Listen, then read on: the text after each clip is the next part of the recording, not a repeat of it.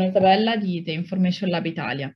Per chi di voi conosce già la nostra realtà, saprete che nel corso degli anni mh, per i nostri servizi di consulenza ci siamo concentrati prevalentemente su due software, Alterix per la parte di data modeling e Tableau per la parte di analisi e visualizzazione dei dati.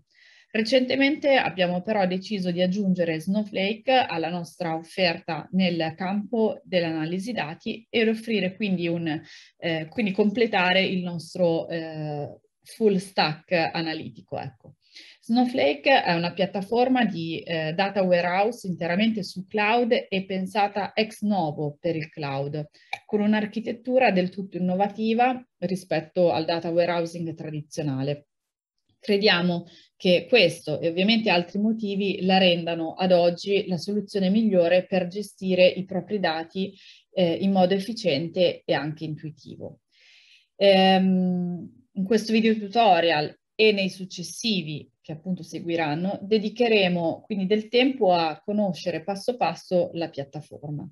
Vi invitiamo pertanto a seguire il nostro canale, in quanto una volta a settimana condivideremo con voi quello che avremo imparato sulle diverse funzionalità di Snowflake. Ehm, in particolare il video di oggi sarà dedicato alla creazione di un account sulla piattaforma.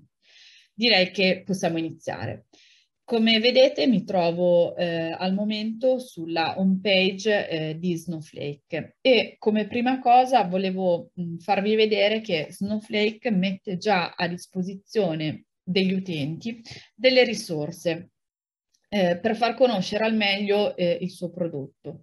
Qui eh, appunto mh, posizionandoci eh, su resources troveremo una lista di contenuti e se clicchiamo su eh, guides, quindi su eh, guide, troveremo una serie di, ehm, una serie appunto di guide ehm, molto utili che ci eh, permettono di eh, scoprire appunto il prodotto eh, passo passo.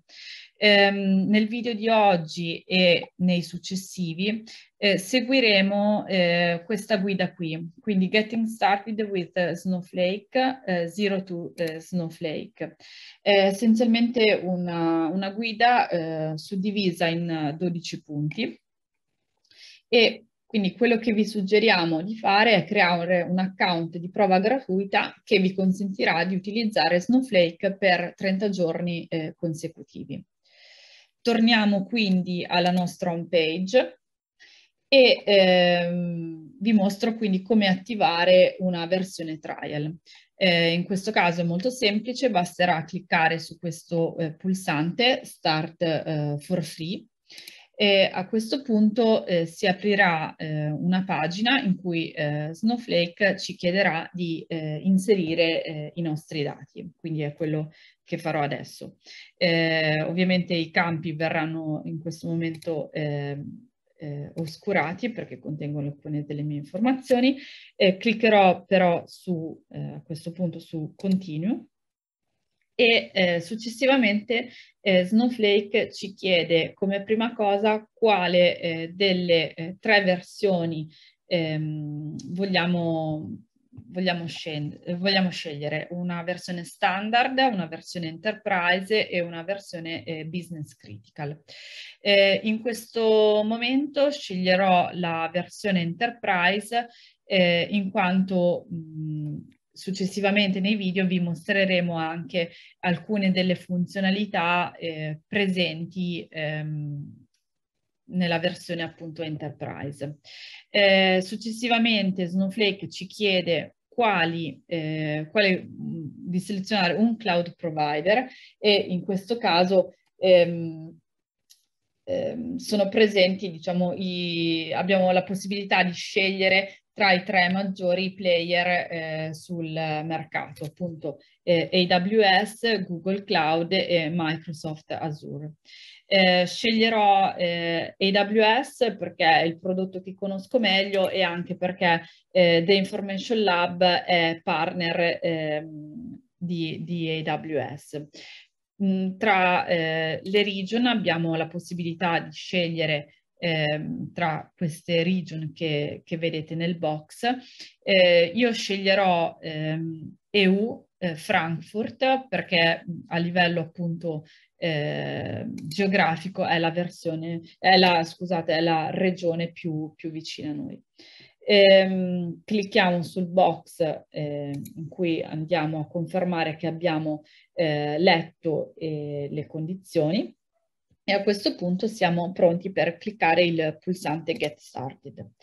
Ehm, Snowflake ci dice che eh, appunto eh, l'account è, è, in progress, ci vorranno comunque pochi attimi come vedete e riceviamo il messaggio di conferma che ehm, eh, appunto l'account è, è, stato eh, creato e che abbiamo eh, ricevuto una mail di conferma ehm, nel nostro account. Quindi quello che andrò a fare è andare a aprire la mia mail, anche qui ehm, i campi saranno ehm, oscurati, però ecco volevo farvi vedere che questa è la mail che abbiamo eh, ricevuto.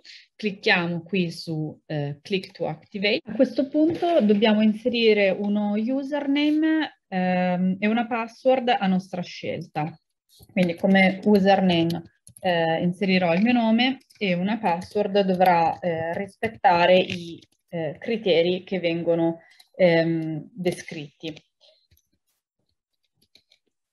A questo punto sono pronta per cliccare Get Started e dopo eh, pochi attimi eh, si aprirà appunto il nostro account.